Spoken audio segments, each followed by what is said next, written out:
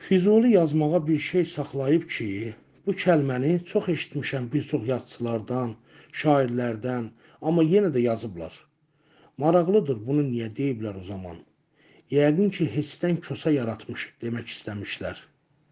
Sovet dövrünün ədibləri işlədiblər ən çox bu sözü. 1920-ci ilə qədər nə idisə söz tapmaqdan, yazmağa mövzudan şikayət edənə rastlaşmarıq elə. 37-ci ilə qədər də vardı bir şey bulanlarımız.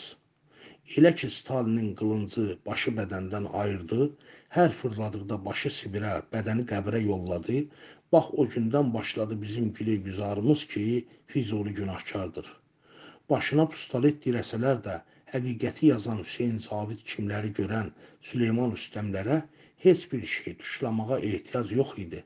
Onsuz da yalan yazacaqdı. Çox dözə bilmədi bu yalanlara Arazlar, Vəhabzadələr, Ulutürklər. Nəticəsiz də qalmadı. Yenidən azadlığımızın suyu, havası oldu bunlar. Sonra bu yolda qurban gedən şəhidlər, cənublu qardaşlarımız, əskərləri ruhlandıran marşlar oldu mövzu qaynaqları. Sən demə yalana şərə öyrəncəlilər Füzuli babamıza da şər atırmışlar.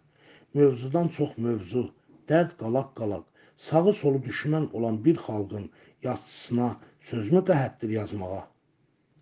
Amma bugünkülər 5 mərtəbəli binanın 6-cı mərtəbəsində oturub erməni ilə pənco-pənco vurmaqlarından, meyxana deyənlərə zağar-zağar aşılamaqlarından yaza bilirlər ancaq. Meyxanaçılar heç olmasa yaşa Azərbaycan deyə bilirlər. Siz bəs nə deyirsiniz? Yaşa Ermənistan? Yaşadığı ölkədə əskəri olmazın təhqir olunan, səbəbsiz yerə mənəviyyatı, kişiliyi ayaqlar altına atılan, tutulan, öldürülən halda bir yazıçı bunu görmürsə, zərər çəkmişlərin anası özü bundan yazırsa, bəs onda siz nəyə lazımsınız?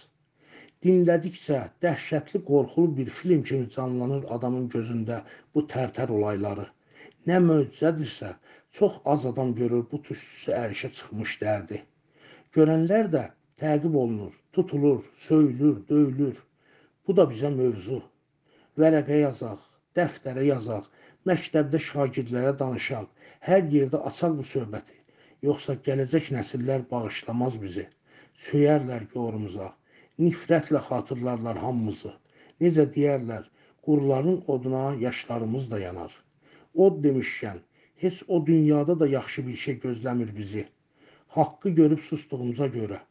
O dünyamızı da yandırırıq, bu dünyamızı da. Bəlkə də yandırmışıq artıq.